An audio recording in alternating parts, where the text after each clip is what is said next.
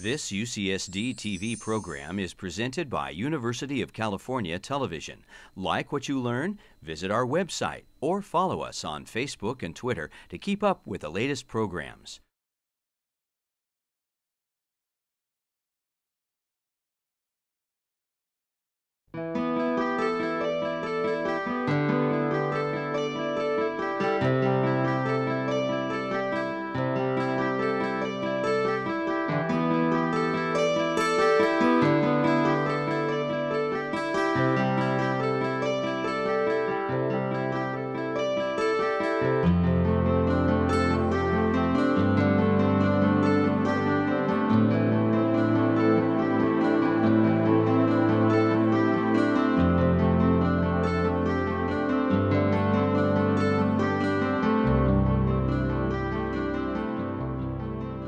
Welcome to Profiles in Discovery. Uh, our guest today is uh, Dr. Nicholas Spitzer. He is a distinguished professor in neurobiology here at UC San Diego. In fact, he was a founding member of not just neurobiology, but of this institution. Played a critical role in making it the number one institution in the land in neuroscience. Part of the way he did that, and one of the most important ways he did that, was his science, his actual research. And we're going to hear about that in a, in a little bit. Uh, it's truly fascinating.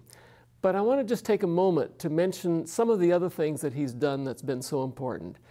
He helped bring the best and the brightest to UC San Diego, uh, and part of that was the role model he provided, but it was also the other kinds of things he did. For example, he's been head of KIBM, Kavli Institute of Brain and Mind. And this institute lets people in diverse areas work together uh, to pursue innovative ideas and break open new areas of research. It's been very exciting, very productive. Um, he's contributed internationally. The Society for Neuroscience, with its thousands and thousands of members, played a major role in that. Headed up, for example, uh, the creation of brainfacts.org, a website open to everybody, the public, and has been very successful, millions of hits every year. Numerous other activities as well we could talk about, but let me come back to his science. Uh, and that's what we're going to talk about a little bit later. This is what's been so remarkable, a true game changer. Um, what Nick has done over the years is to take on um, embedded, uh, established ideas um, uh, that are really widely held in the field, dogma, you could say, and bring a creative view to it, a new insight into it, and say, no, no, actually that's wrong, and to find the right way, and to show with hard work and insight and rigorous experiments and compelling arguments that this was the proper way to see things, this new way, and amazingly enough, convince the entire world of that, the entire community of that. Now, that is uh, extremely rare and extremely difficult. So it's not a surprise that he's a member of the National Academy of, of Science now, uh, many other awards, accomplishments, recognition. How did you get into neuroscience? How did you choose this as your as your career. Thank you, Darwin. I, it was an interesting trajectory, uh, I, I, think. I started out as an undergraduate at Harvard, majoring in physics, following in the footsteps of my father, Lyman Spitzer. This didn't seem to work, fit quite right, uh, so I switched a uh, real pendulum swing into Slavic and linguistics. But I took a course, an introductory course in biology, taught by George Wald. Uh, and this really opened the door. So it sounds like people could have major influence who are effective instructors. Did that happen at other points in your career? Well, I think mentors can play a big role. They certainly played a big role for me. Uh, George uh, was a Nobel laureate for his important work on the nervous system, uh, and he could have sold any one of us a used car. This man was an incredible salesperson in addition to being an amazing scientist. And he turned me on to neuroscience. I went and worked in the laboratory of John Dowling at Harvard, who was a young assistant professor. And, and at that point, the hook was in, and I was on the line, and it was downhill from there. Uh, uh, I really wanted to go into neuroscience. Given who you were moving among and, and where you were and everything, medicine ever cross your mind? A medical career, Yeah, you, you bring up an interesting point. I actually uh, went off to medical school. I, I went to Harvard uh, Medical School for a, couple of years, but I realized I, I was more interested in the discovery process, and I thought a better way to do that would be to switch to the PhD program there in the new department, the new Department of Neurobiology, where we both uh, worked at different times. Uh, this was a legendary department, the first department of neurobiology in the country, uh, chaired by Stephen Kuffler, who was, again, an extraordinary scientist and a fabulous mentor. So mentors can make a big difference, and I think that's uh, something that both of us have seen over our careers here at UC San Diego. People in the place, and I appreciate even more now what you were able to do here at UC San Diego. We'll come to that in a minute. Did you ever have any um, go abroad for any experience? Ah, well, yes, yes, actually, and I try to persuade people in my lab to broaden their educational experience by um, going on after they've been at UC San Diego to seek experience elsewhere around the globe. I went to University College in London uh, for my postdoctoral work, worked there with Ricardo Miledi, another amazing mentor. Uh, and that uh, set me up then to compete for jobs back here in the States. How did it come about you came to UC San Diego? Because those were beginning days when you came out. It's amazing how that worked out. I remember John Singer, a legendary faculty member here at UC San Diego, was at a meeting in London and he had learned that I was on the job market. Steve Kuffler had put him up to this and he came uh, to see me. He said, Nick, let's go out and have a, have a, have a, a pint at the pub, and we went to a local pub near the lab, and he uh, was a wonderful salesperson for UC San Diego in those early days. Uh, so I visited other institutions, but San Diego really had the promise for growth and the excitement uh, of a young campus uh, that I think captured a lot of people uh, at that time. What can we learn from that from your experience about how to best position ourselves to move forward and, and continue to be on the cutting edge, to be the leading institution? UC San Diego has been remarkable in its relatively short history uh, uh in terms of its growth and its reputation, as you point out. I think uh, part of that has been, a big part of that has been the very keen emphasis on the research uh, and the support for research at all levels the fundamental basic science research and, and the, the translational and clinical aspects uh, of the research. and of course, we are here for the undergraduates, and I think for them, providing this research environment uh, is an additional attraction for them to come to UC San Diego. Maybe now would be a good time to give the audience some sense of what, what you have done in science, what your experience in science has been.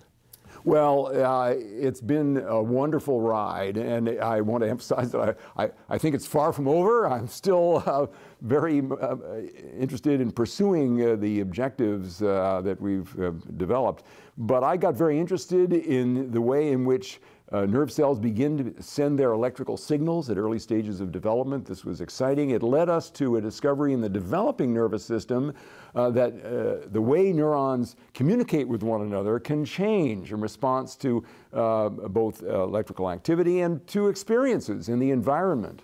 Uh, and so this was a very interesting start on a, a, very nice trajectory. Well, I remember uh, all during my training in neuroscience, neurobiology, and up until your work, really, that that was not the case. You were hardwired. You're a neuron. You make this kind of signaling molecule, or that neuron. You do that. You can make more. You can make less, but you can't change. This you is true. changed that, view. Well, you're right, Dar. In the, the, in the early days, I too was taught that neurotransmitters, the molecules that neurons use to communicate with one another, are a fixed part of what a neuron has and does. Uh, um, Paul Patterson and Story Landis, mutual friends of ours, had shown in the early 80s that in culture, in, in a dish, uh, nerve cells could change their transmitters, and there was some suggestion that during development that that could occur as well. But we went on to look in the adult animal, in the mammalian brain, uh, uh, and we're able to show that experience could lead to changing of neurotransmitters, uh, these neurotransmitter molecules, uh, in the brain of adult mammals with corresponding changes in behavior. And I think that uh, really has opened up a floodgate of opportunities for very interesting uh, questions that we want to try to answer, both about fundamental uh, science, but also about potentially treatments for disease. No, that's phenomenal. I remember, of course, that early work by Paul and Story, but I remember not, not only was it in cell culture, and you said, well, is that real? It's cell culture. But also, um, those were neurons that kind of in their lifetime had the opportunity to make those choices anyway. This is fundamentally different. And you bring up a point I want to return to that you can change it in the adult. Now, for people my age, that's very encouraging. That you could, there's still hope, you know. But um, but to be able to change, you know, for hardcore geneticists, like, and I grew up that way in molecular biology. You're kind of wired in your original genome. One thought. This suggests that you are uh, pliable, available, that you can respond to inputs, even in adulthood, fundamentally changing what your brain can do. I mean, that's this is this is fair, true. Yeah. This is true. I think we've we've known for a long time that uh, how we are, what we are, who we are is a combination of nature and nurture, of, uh, nature, the genes, nurture, the experience uh, growing up. Uh, but it's really reassuring and I think very interesting to find that there's uh, uh, additional ways in which the old dog can learn new tricks. Um, and, and this kind of plasticity that we're talking about together here is rather different from the forms of plasticity that we've known about for, for many years that involved other kinds of, of changes in the nervous system. You've played a role uh, in part through KIBM, but also in addition to that, in the National Brain Initiative of Obama's, but also CalBrain. Tell us a little bit about that. This is a very exciting time for neuroscience, uh, as you know, and you've contributed to this as well. Not only do we have the National Brain Initiative from uh, President Obama, uh, uh, but in addition, we have the California CalBrain initiative uh, here in the state. And on the campus, our, our chancellor, Pradeep uh, has established the Center for Brain Activity Mapping with our colleague Ralph Greenspan at, at the head.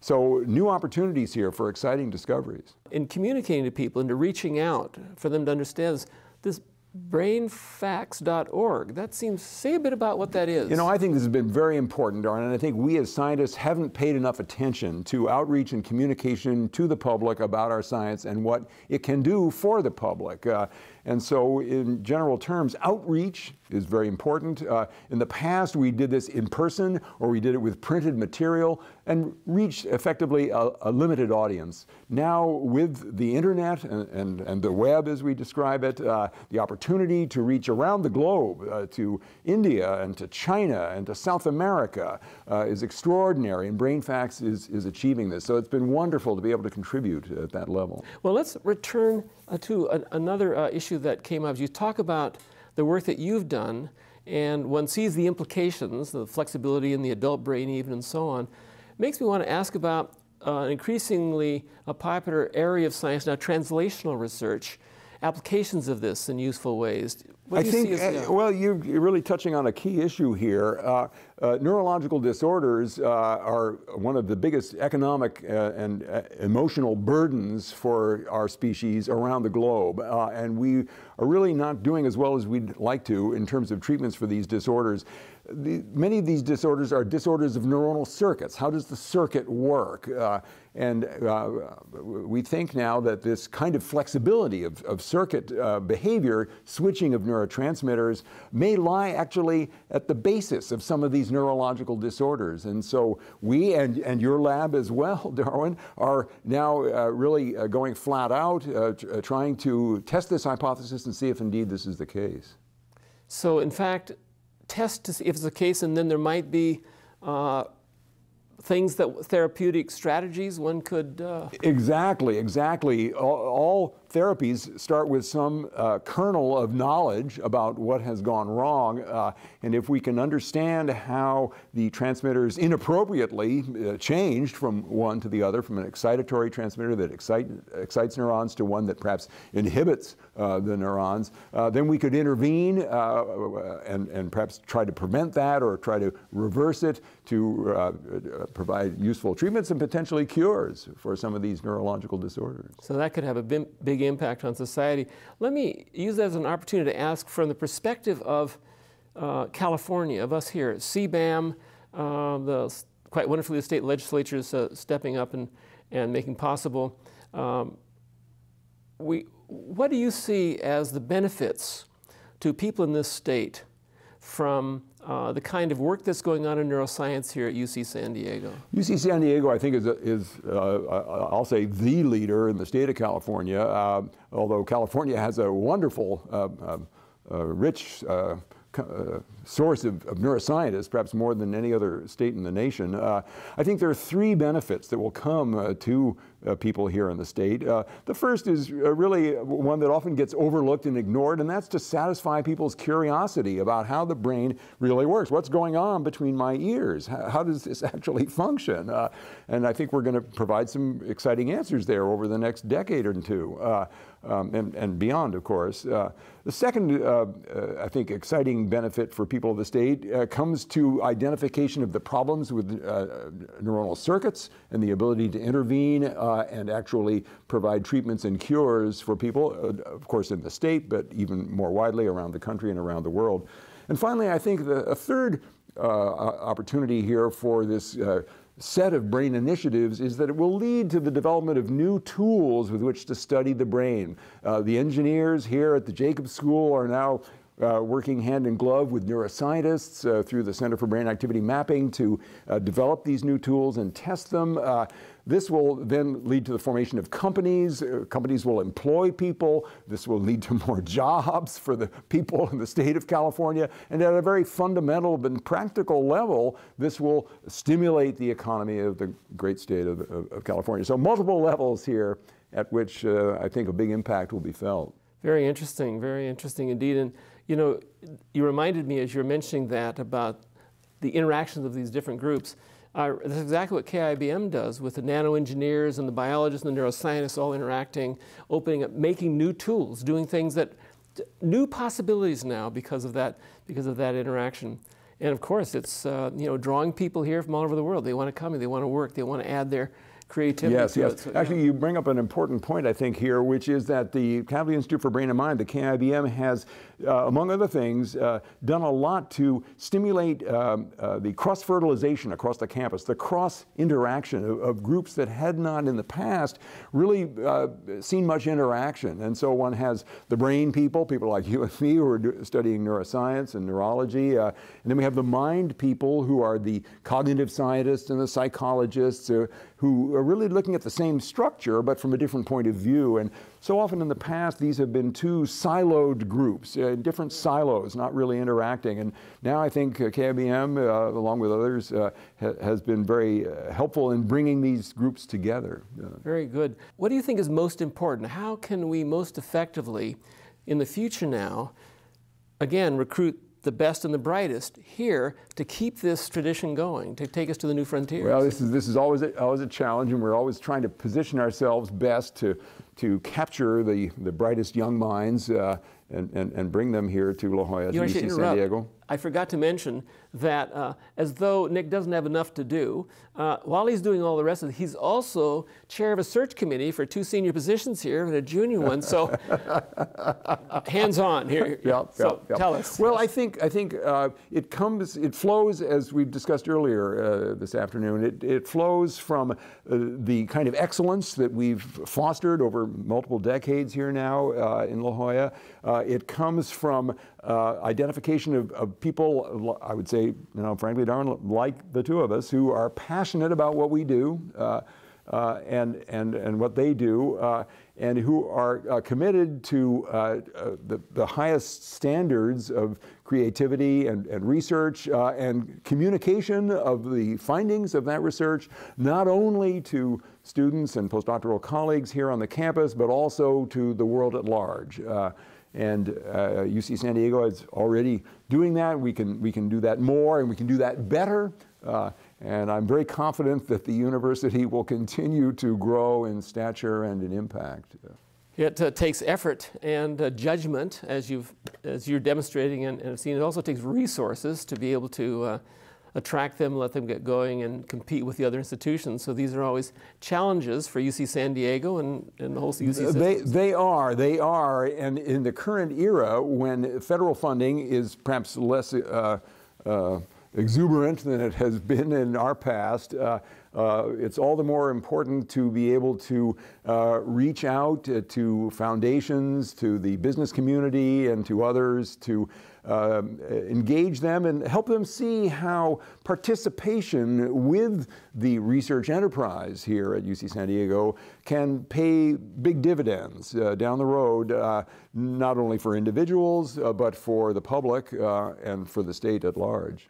Absolutely. Thinking and communication in both directions. Yes. Makes yes, a big difference. Yes. Um, if you had um, advice to offer or insight to offer to um, either speaking in part not just as a scientist and a professor, but even as a parent, uh, affecting uh, young people who are making decisions as you did, as you thought about uh, the various careers, even medicine or physics, something.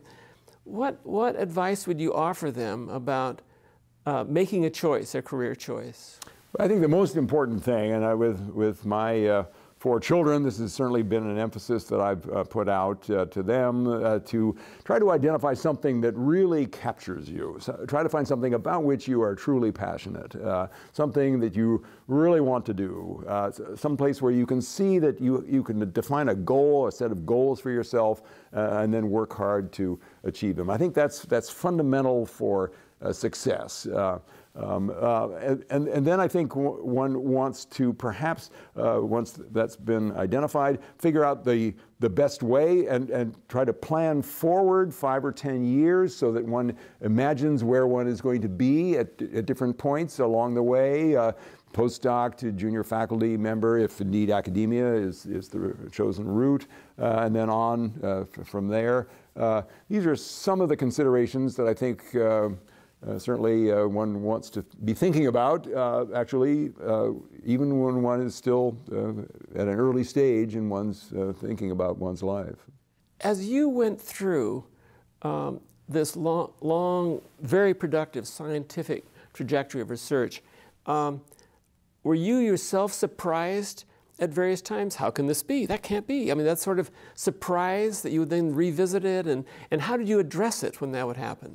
it, there were a number of surprises along the way through uh, the, the, career, uh, uh Darwin, and it's. Uh, uh, in a case like that, one always goes back and repeats the experiment again and again and again just to make sure that there's not some sort of artifact, some complication here that's leading to a, a fluke in terms of the results. Uh, uh, but I confess that when I began uh, my career as an assistant professor here on the faculty at UC San Diego, I had in mind the idea that molecular biology, which as we both experienced was really taking off as a, as a, as a fabulous tool for biological and life sciences, that there was more to it than that, uh, and that the electrical signals of the brain that are so important for us as young people and as adults could have some influential role at the very early stages of development. So I was predisposed to uh, have an eye out and to be aware and to think that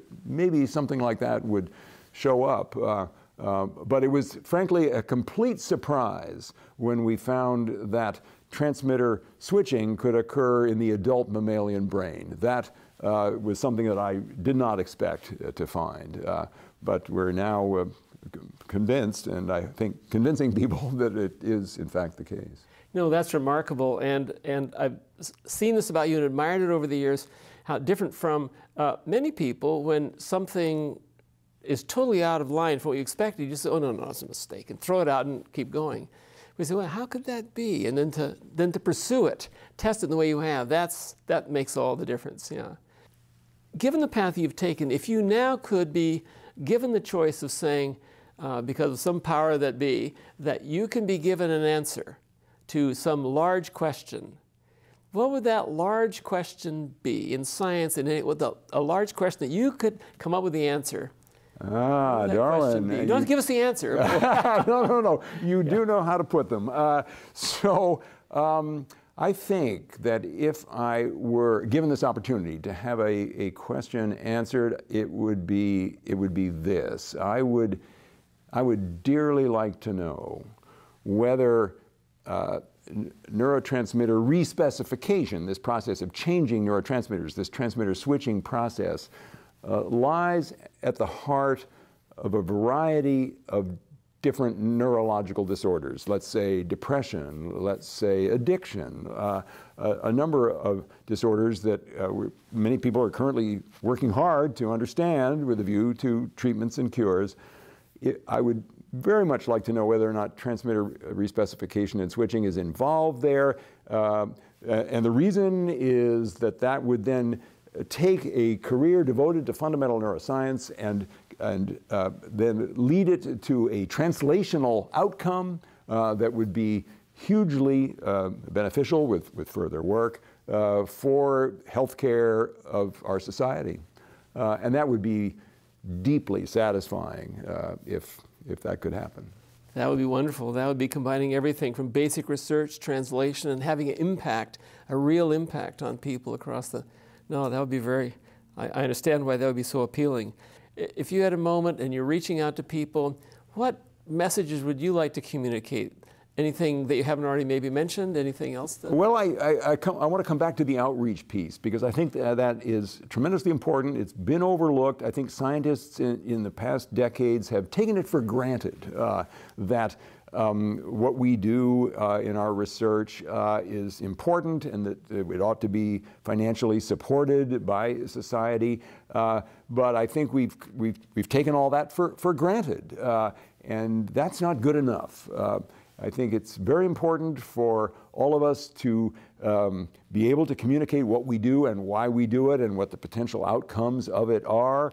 Uh, and I look forward as I go along to continuing efforts to uh, try to achieve those goals. Uh, uh in the end, people who can see that uh, science is beneficial for society, as I think can be very well documented over the, over the ages, I, I, think that they will continue their enthusiasm and their support for it. and that will be, frankly, important for the future of what we do. Absolutely. Um, you know, I should mention, because I know you won't mention it. Well, first, I mean, you do. This is part of what motivated you in brainfacts.org is motivated you in other things I know. But I'll mention something that, that I know you won't, but I can. And that is I share a course with this guy, and I've watched him teach over the years. And I don't think there are many people who are as passionate and committed about what he's teaching and able to motivate the people in the audience accordingly. Students who think, oh, I'm, I'm, going to medical school, but I have to take this class, or I think, ah, is this interesting? And they get fired up. Um, and we can, they come up afterwards and they talk to them and they even say this motivated and fired up because the example provided the passion, the insight, and the information. And that moves people. And you can tell it in their applause at the end, which is just overwhelming. Uh, and I've been impressed again and again by that, uh, Nick. well, Darwin, I have to say, by I have to return the compliment here because I've, you and I have taught this course now for I can't say how many years, but uh, uh it has to be pointed out that the same uh, needs to be said of you. And I think our joint, it's our joint uh, partnership here that has been the huge success that it has been. It's been a wonderful partnership. Uh, terrific scientist Nick Spitzer. It's been a pleasure to have you on Profiles in Discovery. Thank you, Darwin.